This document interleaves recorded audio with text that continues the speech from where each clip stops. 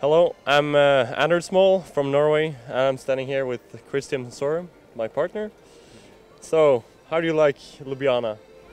Uh, Ljubljana is a really nice city. It's uh, it's kind of small, but it's a lot. Everything is in a short distance. What do you like about playing beach volleyball? I don't know. It's the mental game. You can't uh, do any subtitles. You, you can you can't switch players. Uh, so if you one player struggle, you have to help him, and you just have to stand in it and continue to playing. Okay, thank you very much. Yes, I'm Christian Sørum from Norway, and uh, this is Anders Mol from Norway. Uh, why do you play beach volleyball?